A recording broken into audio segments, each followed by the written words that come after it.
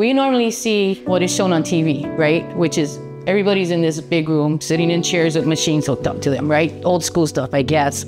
I walked in here and we have our own cubicles, and I'm like, oh, this is pretty cool. The first initial thought, my husband said, You're going to Queens. I'm already stressed out. I don't want to be stressed out even more.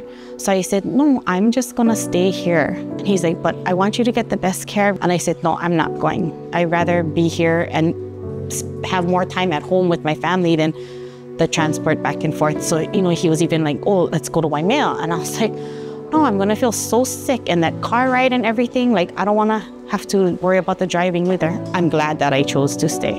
And I tell everybody, like, don't, don't go. Stay here. Hi, I'm Sheena. I'm the nurse navigator here at the East Hawaii Health Cancer Center. Not a lot of people know what a nurse navigator is. So, my main job is to help coordinate care for patients, their families, whether it be for medications, referrals, um, to the mainland, to Oahu, transportation, if they need assistance to transportation, if that's one of the barriers that they may have. A lot of patients can't afford their medications. So I look for foundations, grants, um, even through the drug companies to even see if we could get either a copay assistance or even the medication for free.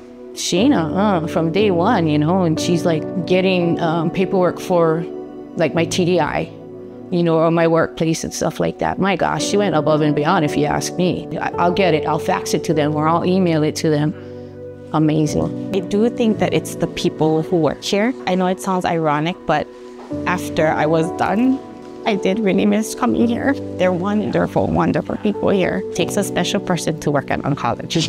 Every single one of them, amazing. It was to the point where I didn't care who I had when I came in. Talking stories, they put the IV thing in and I mean, you don't feel nothing and, you know, it's just very comfortable and they make sure you got everything you need. I feel like this year just like zoomed past.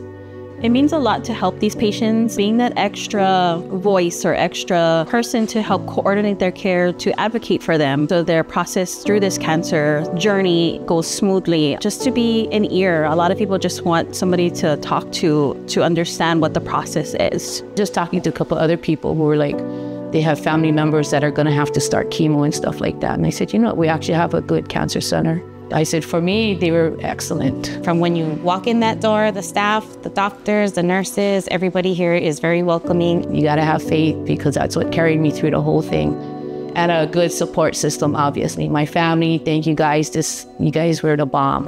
I highly recommend cancer thrivers to come to East Hawaii Health Cancer Center. You won't be disappointed. American Cancer Society has helped our clinic, our patients, by providing support for them. I do utilize them a lot for transportation through their Road to Recovery program. Thank you, American Cancer Society, for helping our clinic, our patients, and our community throughout the years.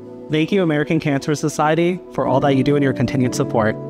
I would also like to thank you for the $10,000 grant that you provided to get our patients to and from treatment. Mahalo.